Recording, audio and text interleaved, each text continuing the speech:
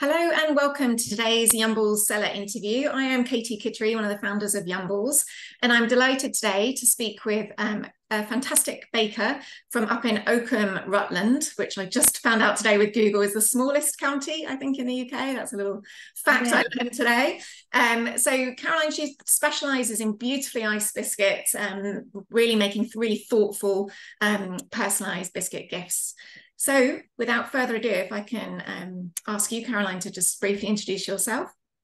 Yeah, of course. So, yeah, I'm Caroline. Um, Rutland is the smallest county in the UK, unless the tide is in oh. on the Isle of Wight, and then the Isle of Wight is smaller, oh, apparently. Oh, interesting. Oh, yeah, yeah. Watch this interview for business information and geographical information, yeah. pub quiz knowledge. exactly. So, yeah, so I run the Kitsch Hen. So, um, it's a biscuit, predominantly letterbox um, biscuit baking business that we set up. Well, I set it up from my kitchen table uh, eight and a half years ago now, um, and we moved into our bakery in Oakham around about six six years ago.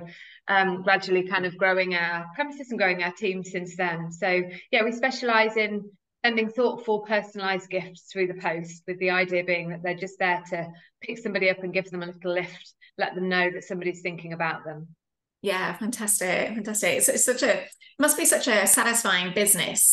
And um, one of the things that we notice when when on Yumbles, and I, am an awful gift giver, although I've got better since since running Yumbles, but is is it's lovely the messages you see come through. And I think for your business, you must see some really thoughtful gifting going on, you know, with your you know lovely thoughtful messages um, coming through and people are really quite thoughtful you know sending nice little gifts to their friends and family for all kinds of reasons yeah, definitely. And I think for us, it's those just because gifts yeah. that are kind of key, really. We do yeah. loads for all sorts of, you know, big occasions. Mm. Uh, but we handwrite all our gift notes. And I've thought so often about having the technology in to be able to print them, which we we could do and we probably should do time wise. But for me, they just keep me so connected with yeah the customer and the receiver. And they are the messages we receive are so beautiful and so meaningful that it's such yeah. a it's a really a real integral part of the business still actually yeah yeah and and I think you know in this modern life we just crave that human connection and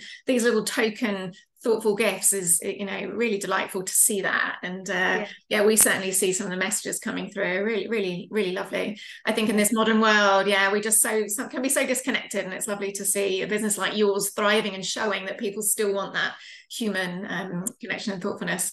So you mentioned you started the business eight and a half years ago. So what was your inspiration for the business? What were you doing before starting the business and what was your inspiration so nothing related to baking biscuits. Um, often had, the way, often the way. Yeah, it is. And it was never, to be totally honest, it was never intended. It was kind of a business that was just kind of that just aim, I suppose. So, mm-hmm. um, and interestingly, actually, it, it, feels quite sort of significant because we were so we were going through. We'd recently moved down to Oakham. My husband's a dairy farmer, and he'd taken on a farm down in Oakham, and I was still working for. A, I was working for a New Zealand travel company, doing all their kind of online blog writing and website stuff remotely. So working well after we'd moved. Um, so totally unconnected to biscuit baking, but I've always enjoyed, always loved baking. It's always been my way of kind of showing like love to people is to bake them something. Um, and we were going through, uh, I think it was our second round of fertility treatment mm-hmm. down, we're living down here in Oakham. And I was trying to find a gift to send somebody. I'd met loads of people going through something similar, and it is without doubt one of the most doesn't matter how surrounded by support you are it is one of the most isolating and lonely and difficult things to experience things mm. to go through mm. and um, i wanted a gift to send to somebody and i didn't know what literally just to let her know that i knew how it was it was going through a two week wait as were we and i just wanted to know that I knew knew how she felt. Mm. And I didn't want to send flowers, they didn't seem right, and I didn't know what to write in a card. And I'd seen these quotes think it must have been Pinterest because I think it was pre my Instagram days. And they just said, um, You are loved, you are brave, you are strong, you are not alone, you are enough, um, and you are beautiful. And a friend had given me this little kit that had this like little holder and individual letters that you fed into the holder and you could spell out words. I think it was intended to stamp into biscuit rather than icing. But I'd seen this thing on Pinterest and I made these biscuits for her and I'd stamped these messages into the icing and I put them in a shoebox and I posted them to her. Um, just exactly for that reason. They landed on her doorstep when she wasn't expecting them. Um, and then I just I have this huge love of inspirational quotes, mm-hmm. and I know a lot of them can be a bit cheesy, but I found when we were going through that some of them to be so they literally got me out of bed in the morning. It can connect. to be honest, when you were just saying those quotes, I get teary. So, you know, yeah. they just connect, don't they? They're very, yeah. Yeah. And they're so simple. So I sent those to a friend and then I just carried on stamping messages onto biscuits, basically just eating them and, and feeding them to my husband uh, while we were going through that round of treatment. And um, it wasn't successful for us, unfortunately. Um, it was successful for my friend. And um, and she asked me to send some somebody else. And then I just had this so we were right in the middle of what was a 10 year journey through um, fertility treatment. And I just needed something to give me a sense of purpose. Mm-hmm. And I just had this thought that if I can't find a gift for somebody going through something like this, and I'm looking online and I can't find it, then perhaps there is space for it and other people yeah. will need it. So friends set me up with a really basic website and that was it. I didn't, and it it got it absolutely got me through those years for sure. Mm-hmm. Um, and weirdly now, when you said to me, you know, when I was saying about it not being an intentional kind of business plan, it was almost, and this sounds sounds really cheesy, and I used to hate the analogy, but it does feel like the business was almost born from our infertility. We didn't, we weren't successful. We haven't got children. We, we weren't able to. Um, but the business has given me such a huge sense of purpose and meaning and that yeah. opportunity to connect or help people connect with each other and yeah, yeah, so that that was where it all began yeah i mean your business is literally bringing joy on a daily basis you know those mm-hmm. surprises through the post it's a lovely lovely yeah. thing to be able to do and deliver to people yeah. um so so so obviously your early days were you know friends and and family i'm, I'm guessing but and you you got your website so did you very much kind of rely on kind of your web sales i guess 10 eight and a half years ago dabbling in social media um, did you did you start to kind of do physical events or anything? What was your kind of route to growing your sales? It was really instagram. We just instagram just really took off for us. I think because the biscuits are so visual yeah. um, that was a real key for us. Mm-hmm. um, and we did we did the odd event. I've never done a huge amount of events partially i think because one of our real sort of key um, elements of the business is that our products are personalized. So pretty much every box of biscuits you can buy, we can add a name or you can have the whole thing personalized. We, we can add a name to them. So it was really important for me to keep that part of it. Mm-hmm. I didn't tend to do many events because of that reason, really, because we weren't able to offer something personalized if we were yeah. doing um, events. Done the odd one as more of kind of a marketing exercise. Um, but yeah, that was it was basically just through our Instagram and, and word of mouth because every time we send a box of biscuits, somebody's receiving them who's mm. potentially then going to be a new customer, and it just it just kind of grew grew um grew from there. that way. Yeah. fantastic. And so you know in eight and a half years of running your business I'm, I'm sure you've seen a lot done a lot learned a lot um what for you kind of stands out as some kind of highlights major milestones major achievements that you're kind of most proud of um, I think often it's the smaller things. So often it's that I had a phone call from somebody um, a couple of weeks ago who was actually asking, who wanted to order some biscuits for his wife, who's a really big customer of ours, but they share a bank account, so he couldn't pay for them because um, she'd have seen. Um, and um, and he he shared some stories with me about when they've sent biscuits in the past and the impact that they've had. And I think for me and for us all at the bakery, that's huge to us because I think as a business grows and you you're bringing in sort of more strategy and you're thinking of kind of um, growth plans and kind of how the business is going to evolve, it's so important to keep anchoring back to that why and to why you started the business and to what where the meaning is and what what that purpose is behind it. And I think, you know, there are it's brilliant when we when we have kind of big projects and when we you know like it was starting to sell on I, i'd been a customer of Yumbles for a really long time and so actually having our products as part of the Yumbles marketplace things like that are, are brilliant but it's often those smaller things I think that just really anchor you back into remembering. Remind you why you're doing it. Yeah, yeah definitely. Because yeah. it's so easy to get. It's so hard running a business and growing a small yeah. business, and there's so much pressure to be always looking ahead and yeah. looking to the next thing. And I think for me, uh, the biggest lesson I've learned, I think, is that importance in stopping and reflecting and thinking, well, eight years ago, I was just on my own threading letters into a holder yeah. at my kitchen table. Yeah. So um, it's so important to do that reflection, I think, isn't it? Definitely, definitely, and also appreciate you know how far you've come, not just in terms of size, but eight and a half mm. years of running your own business. That's you know that's hard. that's hard work you know well you know patting yourself on the back and recognizing you know the fact i'm even still here and i've got a team of any size you know it's amazing achievement so and recognizing that and just enjoying where you're at now like you say rather than always looking totally. at i think it's really easy to look at what everybody else is doing and kind of yeah. do that comparison fall into that comparison trap and remembering that what we're seeing is what they're showing us yeah. and actually so much behind running a business that is hard and frustrating and challenging and a bit soul destroying sometimes yeah. and confusing and yeah. and I think you know it's yeah it's remembering exactly as you said it's that um I definitely think that you can't always look at that growth either particularly not in this at the moment on on a financial trajectory you know you have to look at it as so much more. And as you say, sometimes it is just we're still here eight years, yeah, eight years yeah. later. We're still here, we're still delighting customers, we're still doing yeah. what we set out to do. Yeah. Yeah. Um, and so, you know, you you mentioned you've got a team now. Um, you know, some some bakers that start out as you did decide to purposely not expand in that way. They want to keep it kind of simple and you know, because the minute you start hiring and everything is a whole different ball game of business. Yeah.